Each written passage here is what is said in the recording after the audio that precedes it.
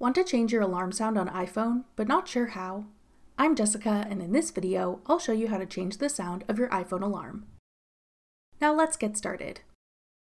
To change the sound of your alarm on iPhone, open the Clock app and tap Alarms at the bottom.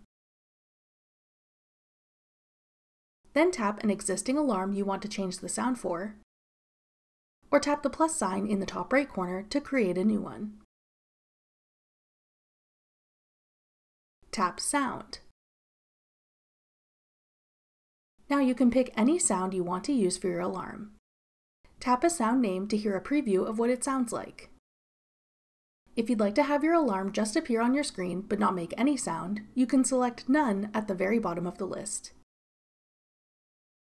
When you've selected the sound you want to use, tap Back. Adjust your alarm time if needed, then tap Save. Your new alarm with the sound you've chosen will then be saved and ready to use.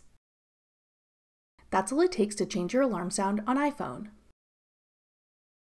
If you'd like to have a silent alarm but still need something to wake you up, check out this tutorial to learn how to set up a vibrate-only alarm.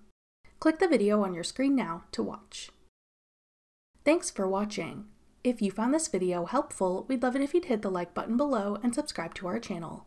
We put out great new tech tutorials like this one every day.